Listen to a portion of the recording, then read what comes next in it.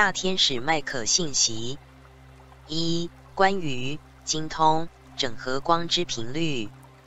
传导作者：Shanta Gabriel。亲爱的伊们，今天我们来述说精通。自我精通已经成为让你在地球上繁荣的原则。自律和专注是至关重要的，但这个自律并不是严厉或严格意义上的。而是更多的与你最高的自我对齐，撤回对世界上发生的改变波浪的关注，而是创造一个深度的根源系统以及核心连接与自然世界和在能量层面支持你滋养你的地球。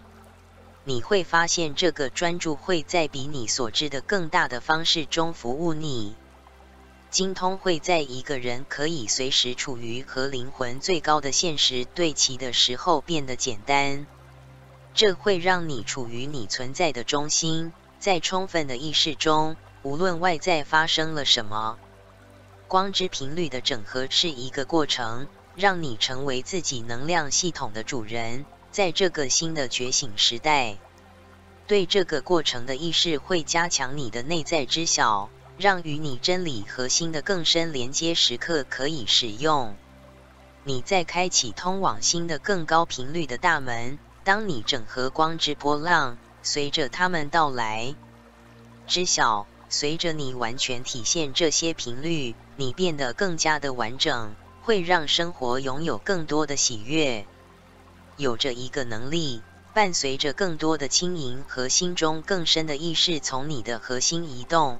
随着你时刻觉醒至神性，这意味着你确实生活在五维世界的光之身体中。贯穿时间，有时候需要你步入作为精神战士的角色。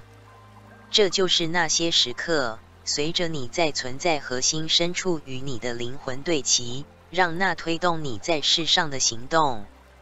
战士的力量也包括温柔猛烈的慈悲行为。随着真理之光在你之内燃烧，智慧和爱与你中心的力量连结，战士的果断被新的慈悲平衡，因此成为支持你精通的居中面相。深深的谦卑成为一个核心属性。随着战士认识到一切只能通过神圣的意志完成，不是我的意志，而是你的意志会被完成。正如已经说过的。然后沉浮在太阳神经丛发生，随着它放下自以为是。当你这么做，一个惊人的平静的内在力量为你创造，在爱、智慧和力量的平衡中，慈悲成为你生活中一个平衡剂，可以激活你内在的陀螺仪。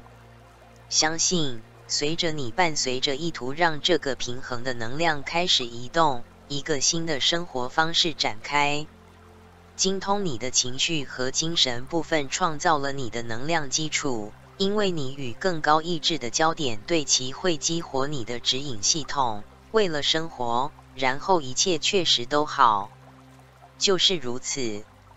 谢谢收听，感恩祝福。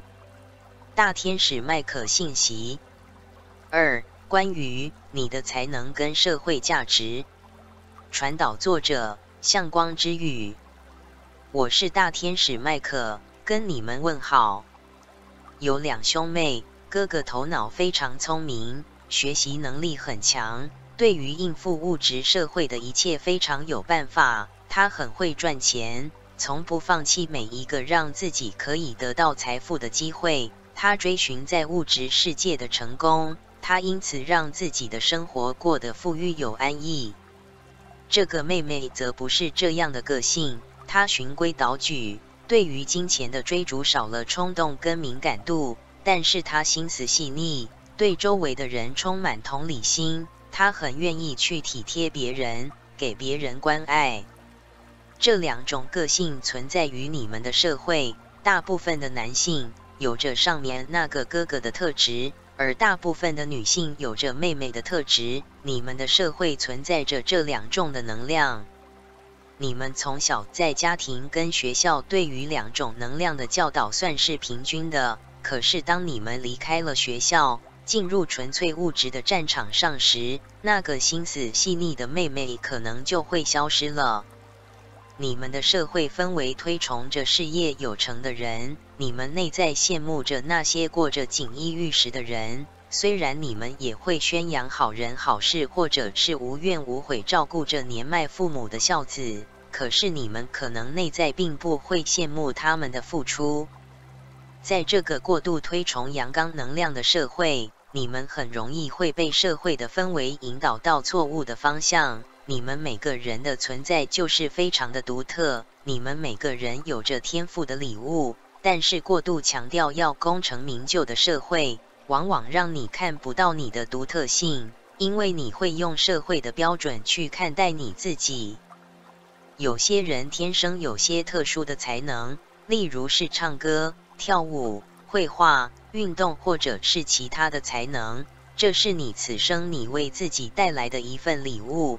但是你们却常常错用这份礼物。很多人想要用这份礼物让自己功成名就，或者非常强烈的追寻着一定要用这个才能来谋生。如果可以这样，当然是很好。但是往往有太多的人在这种追寻的过程里面失败了。所以你们的社会会充斥着潦倒的艺术家，或是无法成名的歌星。亲爱的合一们，不要让你们天赋的礼物被物质社会的阳性能量所误导了。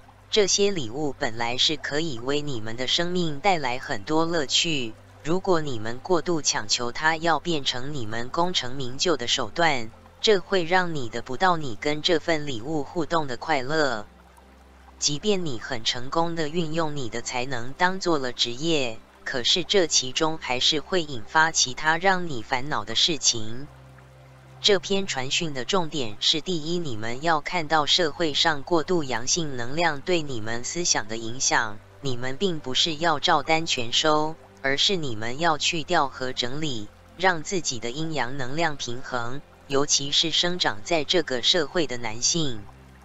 第二点是，对于那些自己觉得有特殊才能的人，你的才能是生命的礼物，不要硬要把他们当作是赚取名利的工具，这是你被社会洗脑的结果。不要怨叹怀才不遇，这份礼物的伯乐其实不是别人，而是你自己。你们太习惯，也太在乎从外在得到掌声，可是自己却很少给予自己赞同。也因此活在痛苦中，所以改变一下自己的心态，把你此生的才能当作是生命很好的陪伴，这样你才能从中得到乐趣。我是大天使麦克，我爱你们。后记：这篇传讯大天使点醒了我某些事情，对于我的某些才能，我的头脑会不自觉的偏向社会价值的运作。我会想要把它表达出来，让别人看到，希望从别人那里得到掌声。我后来会太注意那些掌声，而忘记最初这个礼物带给我那种纯粹的快乐。我后来把这个礼物复杂化了，而我要享受这个礼物的快乐，自设条件也越来越多。我也看过朋友喜欢绘画。可是他自觉画画无法带给他谋生的机会，也因此对绘画产生了爱恨情仇的情绪。大天使在此又提供了我们可以关照我们内在的地方。对于我们的才能，我们可以认真的去做表达，但是我们还是要去关照，我们是否过度要求一定要达到我自己预期的结果。因为往往外在的条件的限制无法让自己的希望成真，这时要提醒自己暂停一下，回到最初那份单纯的感觉，才能得到这份才能带我们的快乐。我非常感谢大天使对我的教导，他让我看到自己的盲点。向光之语，谢谢收听，感恩祝福。